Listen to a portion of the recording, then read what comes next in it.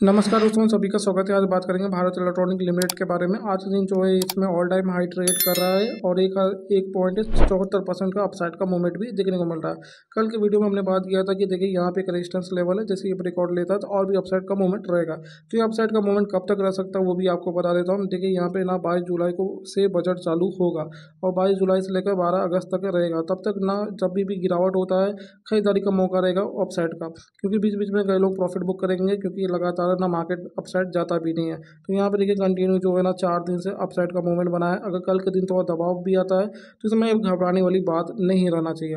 और यहाँ पे देखिए काफ़ी अच्छा रिटर्न ऑलरेडी दे चुका है। दो का इसने बेस बनाया, तब से एक हाई राई पैटर्न बनाकर अपसाइड का मूवमेंट बना रहा है। तो बाईस जुलाई तक इसमें अच्छा खासा मूवमेंट मिल सकता है। अभी क्या करना चाहिए? तो फ़िलहाल तो मैं आपको परसेंटेज वाइज रिटर्न बता देता हूँ कि अभी तक इसने कितना अच्छा रिटर्न दिया है। तो यहाँ पे देखिए काफ़ी अच्छा रिटर्न जो है ना, इसने दिया है, जो कि तीस परसेंट का है। तीस पॉइंट एटी का। मतलब एक दिन के अंदर कम से कम एक परसेंट का इसने रिटर्न दिया। है तो आपके पास एक मज़बूत जो सपोर्ट लेवल इस वक्त रहेगा, ये रजिस्टेंस रहेगा। और ये सपोर्ट लेवल का काम करेगा तीन सौ बीस रुपया।